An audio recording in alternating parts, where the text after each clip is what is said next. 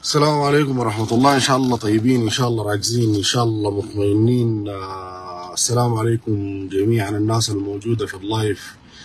التحية لكل القوات آه، النظامية الموجودة في كل بقاع السودان. بابنوسة الفاشر آه، نيالا الجزيرة الخرطوم. تحية لكم جميعا. السلام عليكم ورحمة الله. كل الناس آه، القاعد تحضر في اللايف. ما عندنا كلام كثير كالعادة. عندنا كم حاجة دايرين نوجهها ودايرين نتكلم فيها. وبعد ذاك آه، أكيد آه، حتلقى استجابة إن شاء الله. طيب أولا شفنا الليلة الضربة بتاعت سلاح الطيران المت... اللي اتعملت للتمركزات الموجودة على جانبين الجسر بتاع جبل أولياء طيب اللي هي الاتجاه الشرقي والاتجاه الغربي. تمام. قبل فترة لما طلعنا تكلمنا وقلنا والله يا أخي الجسر بتاع جبل أولياء لازم يتضرب. الناس طلعت قالوا لنا لا لا ما المفترض تقولوا الكلام ده. والجسر ما يتضرب ودي خطة استراتيجية ودي خطة غيره ودي خطة غيره. وين الخطة الاستراتيجية؟ وين الكلام اللي أنتم بتتكلموا عنه ده في إمداد الميليشيا عن طريق الجسر ده وإخراج كل المسروقات من الخرطوم ومن مدني ومن غيره ومن غيره. طيب الليلة حصلت ضربة للموقع ده. السؤال هنا آه اللي أنا داير أسأله هل إلا الإعلام والرأي العام يطلع يتكلم في موضوع عشان يلقى استجابة؟ لازم يطلع نشكل راي عام والناس تتكلم والناس تطلع لايفات وتعمل منشورات وغيره عشان الناس تضرب موقع ولا تعمل غيره. هل الكلام ده منطقي يا جماعة؟ طيب. الليلة آه، جات الضربة في في في في ال- حوالين ال- السقاله يمين وشمال. اللي يمنع شنو إنك تضرب السقاله والله يا أخي بتتصلح في 48 ساعة. ما تتصلح في 48 ساعة. ما تضربها تاني. انت تديه فرقة ذاته انه يصلحها ليه في 48 ساعة؟ ما في ما في أي سبب يخليك آه، تديه فرقة يصلحها في 48 ساعة. والله يا أخي لو ضربناه الهجوم حيكون آه، جهة الدويم. الدويم ما تجهز. والله لو ضربناه حيضغطوا على سنار وحيضغطوا على ما بعرف ما سنار ما تجهز. والله لو ضربناه حيجي يضغطوا على القضارف. القضارف ما تجهز. انت ليك سنة ما جهزتها؟ إلى الآن ليك سنة ما جهزتها؟ حتجهز 200 يعني؟ فموضوع التخدير بتاع إنه والله يا أخي لما الموضوع يتشكل حوالينه رأي عام والقضية تبقى قضية بتاعت رأي عام وتتكلم عنها الميديا ووسائل التواصل الاجتماعي والناس حتى أنت بعد ذاك تتحرك يعني إحنا المفترض الموضوع ده اتجاوزناه مفترض نكون اتجاوزناه في خلال السنة دي. يعني. الحاجة الثانية الليلة انت كل الشعب ده معك كل ال- ال- ال- ال- المواطنين ديل معك الشعب السوداني كله معك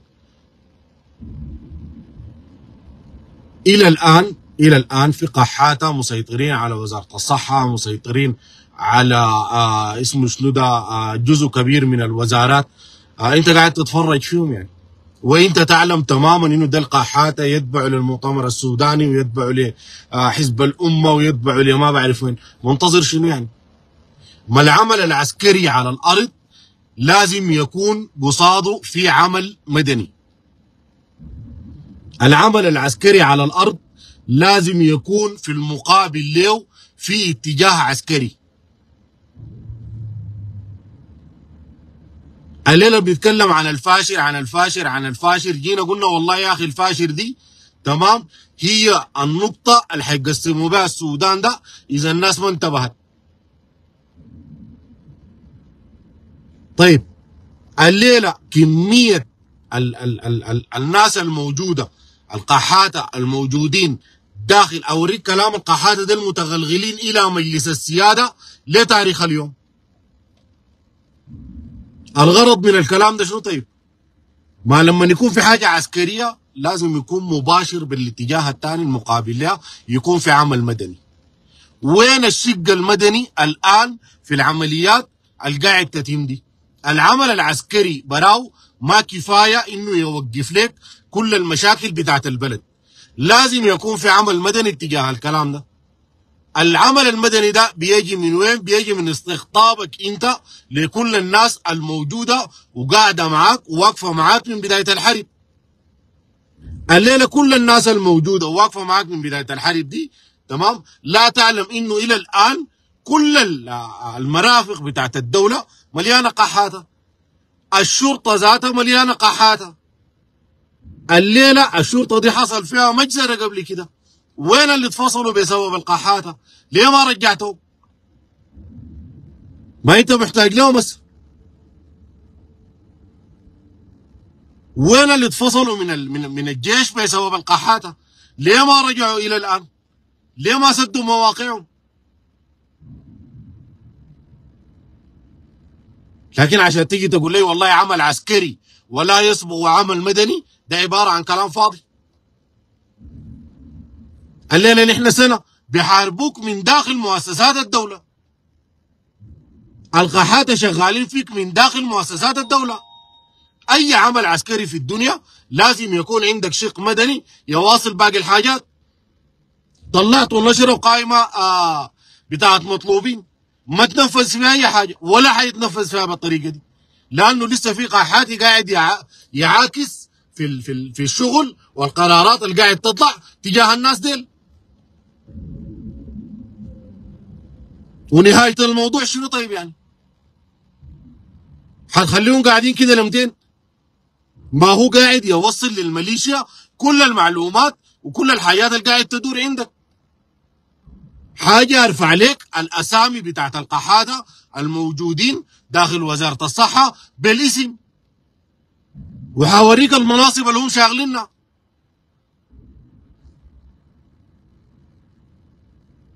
كم مرة نجي نتكلم ونحن نقول والله يا أخي ده قصاد ده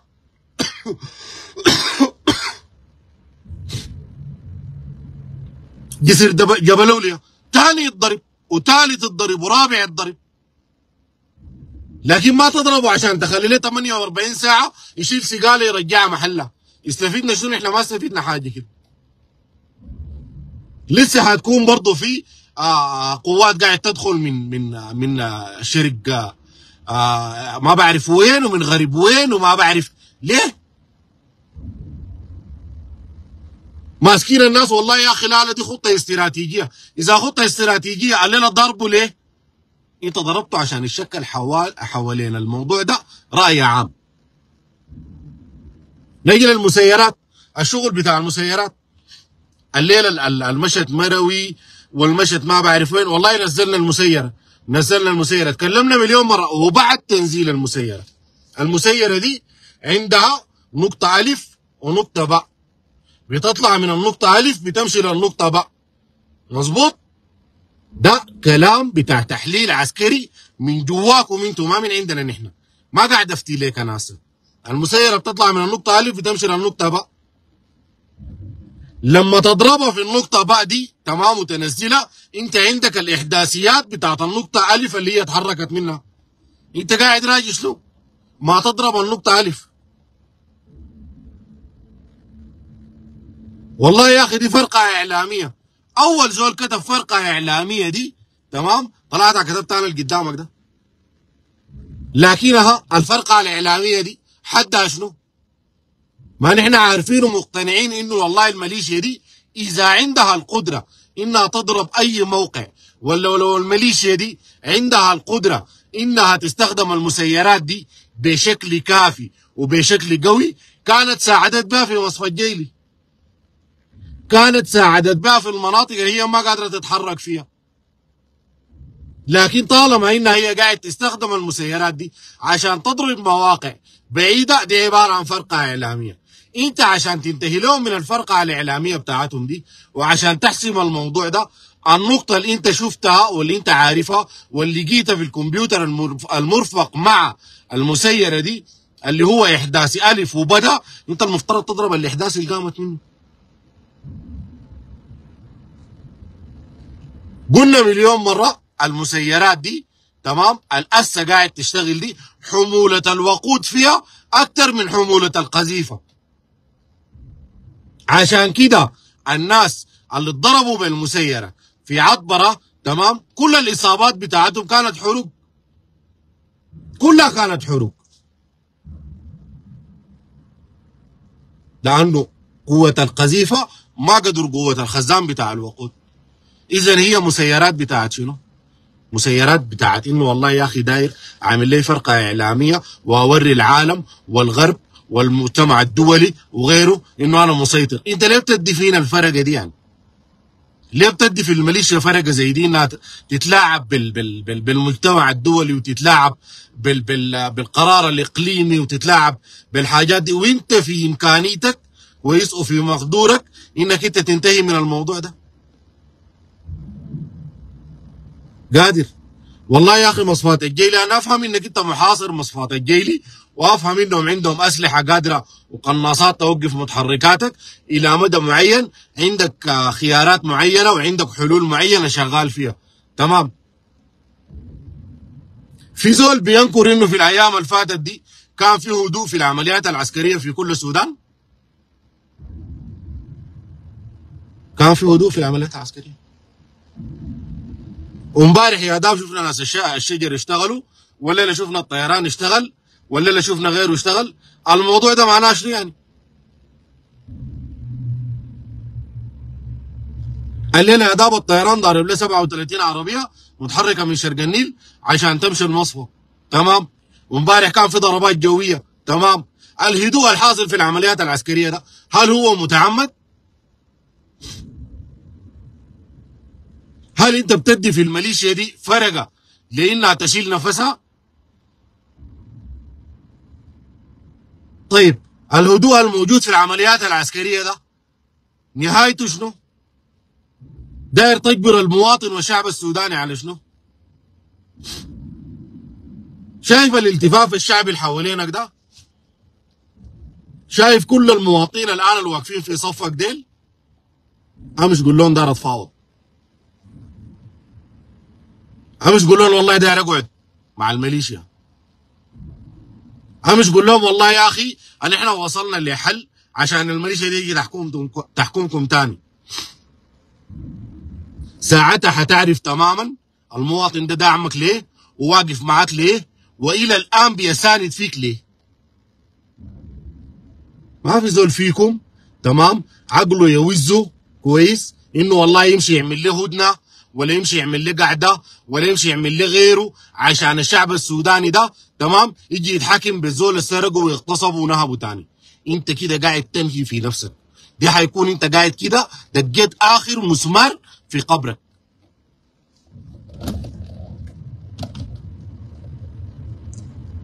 انت شايف الناس في مصر وضعهم بقى شنو؟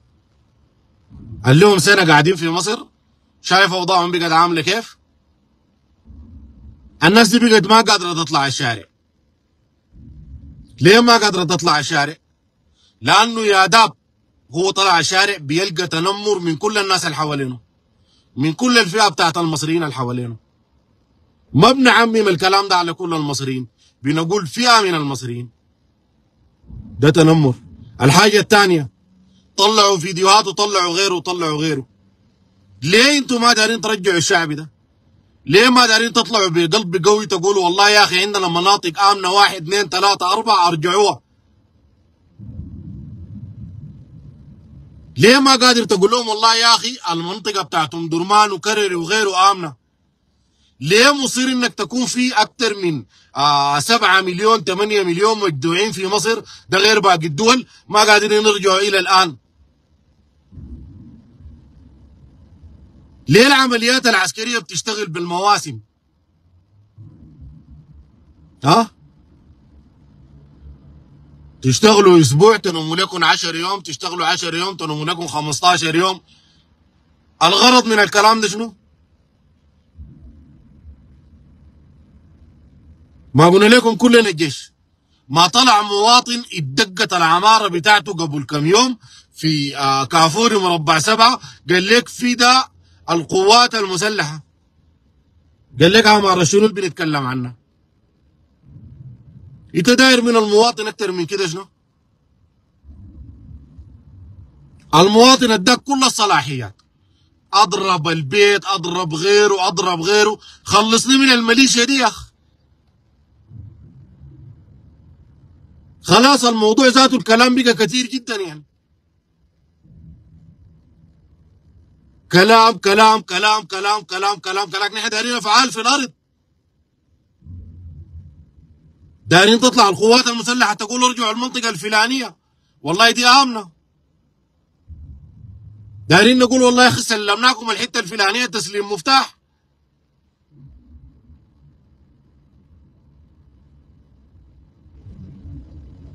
شغالين أيوه شغالين لكن ما ناكرين حقكم نحن. لكن اللي بتعملوا فيه في خلال الأسبوع ولا العشر يوم ولا من بعد رمضان إلى الآن دي تمام؟ دي أنا بعتبرها هدنة عديل. بس أنتوا ما اعلنتوها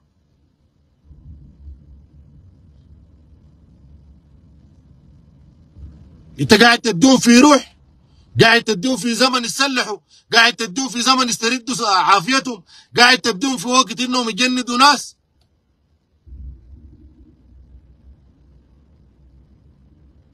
المفروض كل يوم العمليات العسكرية دي ما تجي ولا ساعة. لأنه في مواطن بهناك قاعد يعاني. لأنه في مواطن بهناك قاعد يموت. لأنه في مواطن بهناك ما قادر آه يدفع حق حق الإيجار. لأنه في أولاد متعطلين من المدارس.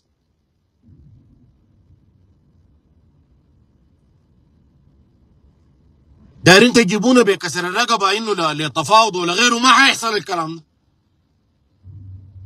ما هيحصل. والمقاومة الشعبية اللي حاولوا الناس إنهم يقعدوا عشان ينتهوا منها دي ها هسه دي رسالة للمقاومة الشعبية. ارجعوا أتحركوا تاني. عشان لو حصلت بكم أي غدرة في زمن من الأزمان ولا في وقت من الأوقات تكونوا أنتم مستعدين. تكونوا عارفين حتعملوا شنو. عشان ما يحصل لكم الحصل في كل المناطق اللي دخلتها الميليشيا دي من اغتصابات ومن غيره ومن غيره.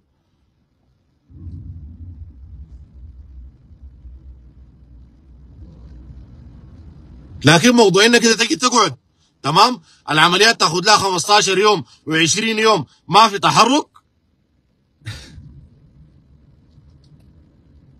وليله جسر جبل أولياء؟ بدل ما تضرب الجسر ذاته السقاله تضرب آه غرب الجسر وتضرب آه آه شرق الجسر. ما تضرب الجسر ذاته المشكلة وين يعني؟ ما تضرب قبل كده يعني. ما تكفي لنا الباب ده؟ ما انت لو قفلت لنا الباب ده تمام؟ صعبت عليهم حركة القوات بتاعتهم من أم درمان للخرطوم لبحري لمدني. حيجي بوين تاني يعني؟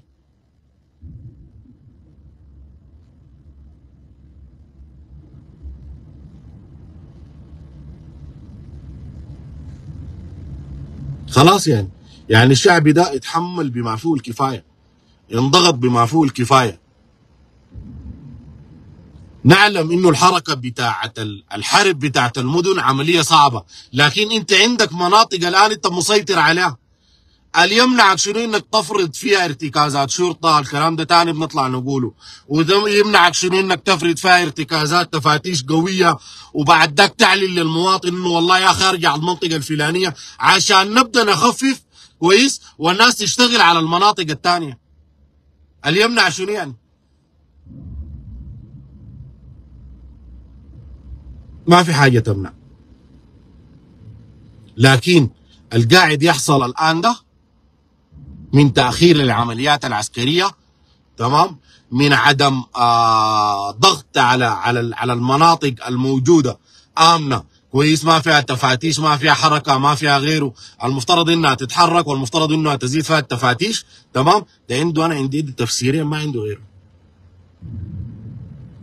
التفسير الأول عشان الناس بتقول لك والله يا أخي أنتوا ما بتتكلموا. لا لا قاعدين نتكلم والله. التفسير الأول احتمال يكون في هدنه نحن ما عارفينها. ولا بتقدروا تعلنوها التفسير الثاني. إنه والله أنتم ما دارين المواطن يرجع. ما الكهرباء رجعت في بيت المال ورجعت في أحياء درمان القديمة وشغالة في كرري والموية رجعت تمام اللي يمنعك انت كقوات مسلحة تطلع تقول للناس أرجعوا للمناطق الامنه شنو؟ ما في سبب يخليك تقول ما, ما تقول الكلام ده خايف من شنو أنت يعني؟ خايف من شنو؟ ما في حاجة تخليك تخاف لما جينا اتكلمنا وقلنا لكم والله يا أخي المواطن السوداني ده تمام بعد شوية حيقلب ضدكم كلامنا ده ما عجبكم وزعلتوا منه. شالته الميليشيا طلعت به كلامنا ده بغادي كلام. تمام؟ والله يا أخي الزول ده ضرب في المنطقة الحساسة بتاعت إنه فعلا نقطة قوات نقطة القوة بتاعت القوات المسلحة دي هي المواطن السوداني. هم فيهم الكلام لكن أنتوا ما فهمتوا. المكابرة في شنو؟ ما انت فعلا قوتك في المواطن السوداني. ما تكابر. المواطن السوداني ده لو من أول يوم في الحرب تمام؟ قال أنا مع الجنجويد ديل تمام؟ إنت ما كنت قاعد ليوم الليلة. اذا إنت لازم تعمل الحاجة اللي بترضي المواطن ده اللي بترضي الزول الواقف في ظهرك ده.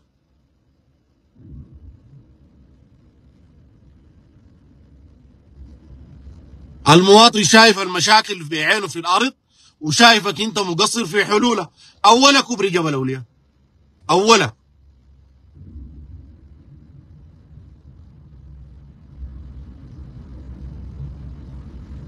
مواطن الجزيرة. القاعد هناك منتظرك عشان تجيه ده. العمليات في كل المحاور بتاعت الجزيرة وقفت. مش وقفته بس لا. مش وقفته بس. في مناطق اتقدموا فيها رجعوهم لنقطة آه، متأخرة ورا من من من التقدم. الحاصل شنو إحنا ما فاهمين. ما فاهمين.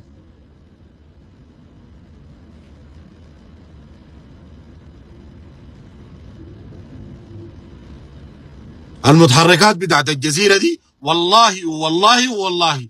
وصلت مناطق رجعتهم منها تاني والله يا أخي رجعتوا ليه؟ والله رجعناهم تأمين. طيب تأمين ده له 15 يوم. ما في زول يتحرك تاني من الموقع ده. له 20 يوم ما تحركوا تاني. التأمين شنو بالضبط؟ انت محتاج الان تمام؟ الكلام ده افهموه واحفظوه كويس. انت محتاج الان للحداد محتاج للنقاش محتاج للمهندس محتاج لغيره. ديل كلهم انت لازم تجيبهم تحت مظلتك. كل الناس دي واقفة معاك صف واحد. ما تخسر المواطن السوداني. انت الليلة دي ما معركتك انت براك يا قوات مسلحة. دي معركة المواطن قبل ما تكون معركتك انت.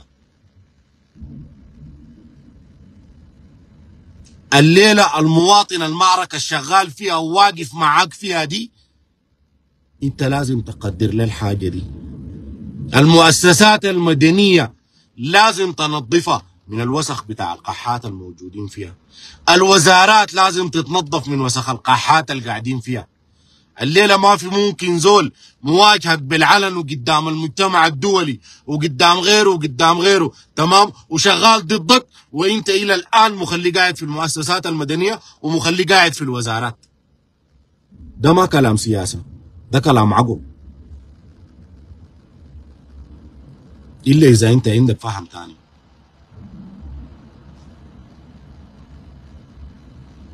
الليلة الشغل التم تمام؟ والشغل التم في في في مروي وقبله في شندي والليلة في المتحركات اللي كانت طالعة من شرق النيل ماشية المصفى تمام؟ الشغل ده لازم يكون في أكبر من كده.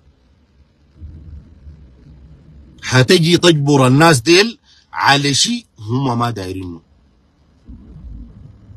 نظف الوزارات نظف المواقع المدنية المسؤولة من الخدمات نظف الصحة من القحاته أعلن آه، المواقع الآمنة للرجوع آه، زيد التفاتيش زيد الارتكازات تمام؟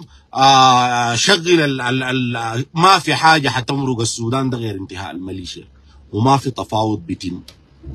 وانتوا تعلموا الكلام ده. وما في هدنة بيتم وانتوا تعلموا الكلام ده. وإذا دارين تخسروا الناس ديل وتخسروا الشعب السوداني ده أعملوا حاجة في الحاجات دي.